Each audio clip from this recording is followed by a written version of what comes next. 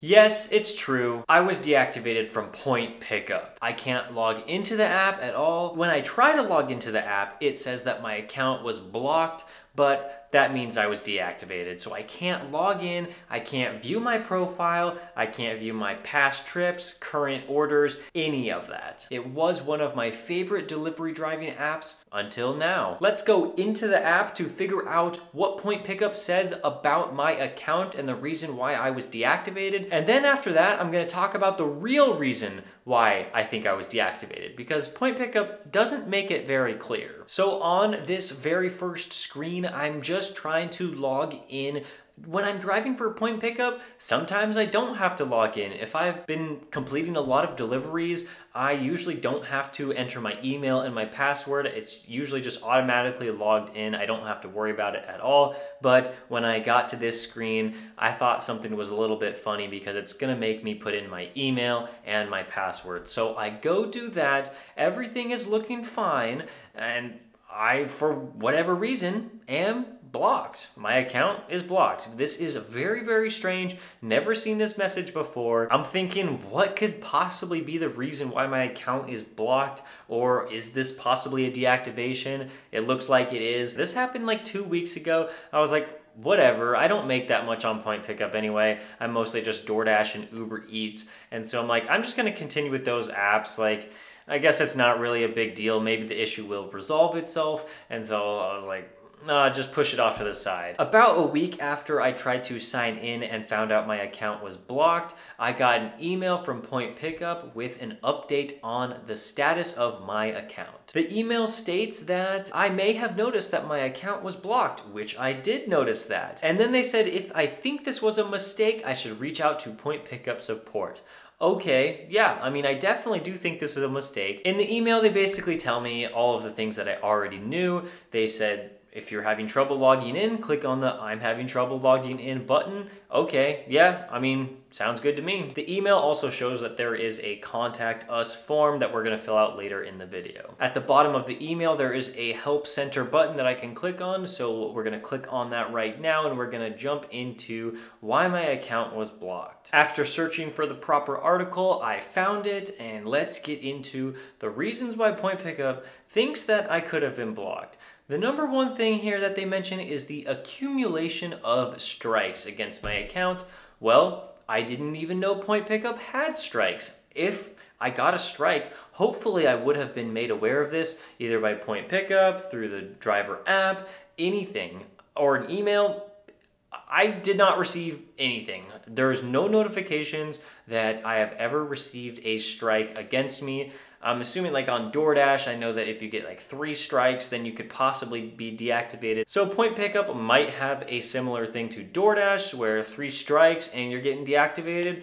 To my knowledge, I have zero strikes on my account. They also say negative feedback might be one of the reasons why my account was blocked. But again, I've never heard from a customer negative feedback. I've never heard from the driver app. I've never heard in an email negative feedback. I try to do my best with a lot of these point pickup orders because not only do they pay pretty well, but also point pickup most of the time it delivers groceries from stores and these are people that ordinarily would not be able to grocery shop for themselves. A lot of elderly people use this service. They either order through that grocery store's website, or I think they might be able to use point pickups system.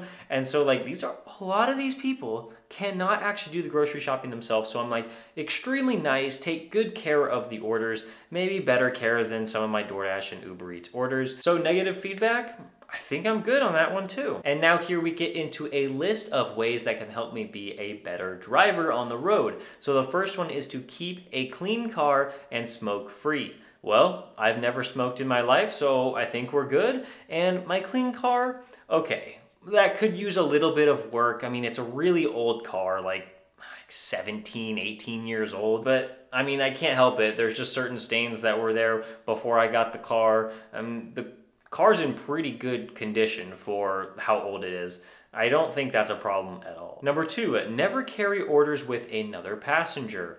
I do have my wife in my car occasionally, but very, very rarely. I mean, like at most, I've probably done one or two point pickup orders with my wife in the car. That's before I even knew that this existed. So I'm sorry about that, but I really don't think anybody complained. Like, who would even know that that is happening except for the customer but usually they're like a lot of these are like apartment complex orders and so usually my wife will just like wait in the car and then you know, I go drop them off and the customer never sees her, so I don't think that's an issue. Number three, show up on time for pickup and drop offs. I have never been late to a drop off to my knowledge. I immediately go from the grocery store to the customer. Occasionally, there are some times where orders are extremely late. In the case that they're extremely late, Point Pickup may even call me personally to my phone and say, hey, we have an order, it's extremely late, can you take this offer? We're going to give you a little bit of bump in pay to take it and, you know, I know that the customer's probably upset that the order is already late because they get a four hour scheduled window of when their groceries are going to arrive.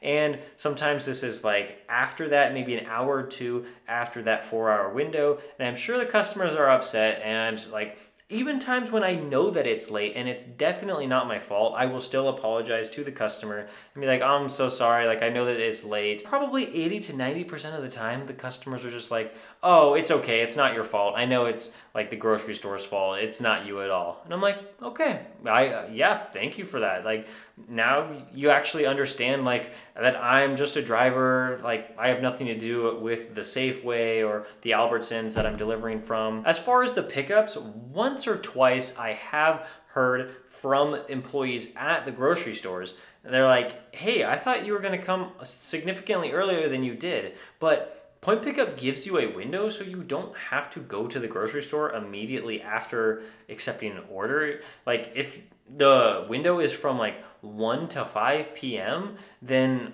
I would be like, well, okay, I'll just like go whenever it it's not that busy on DoorDash and Uber Eats. So I accept the order at like noon and I'm like, I'm just gonna work out this lunch shift until like two or three and then I'm gonna go to that grocery store. Well, sometimes the employees of that Safeway or Albertsons that I'm going to, it's like, oh, the app showed that you were like already here. And so we like got the groceries ready, but then like you didn't show up. And I'm like, well, that's definitely not my fault. That has to be like Point Pickup's fault because like if I can deliver those groceries at 5 p.m. and I get them delivered at like 3:30 or 4, then I don't think that's my fault at all. The next one, be polite and helpful with customers. I think I've already explained that. Like I try to do my best. I'm like provide better customer service with some of these orders than I do with DoorDash and Uber Eats orders. It just works out that way because the people are more appreciative to get their items. So then I'm just like naturally in like a happier mood. Then I scroll down and it says, if you still think this was a mistake, you can reach out to the email accounts at pointpickup.com.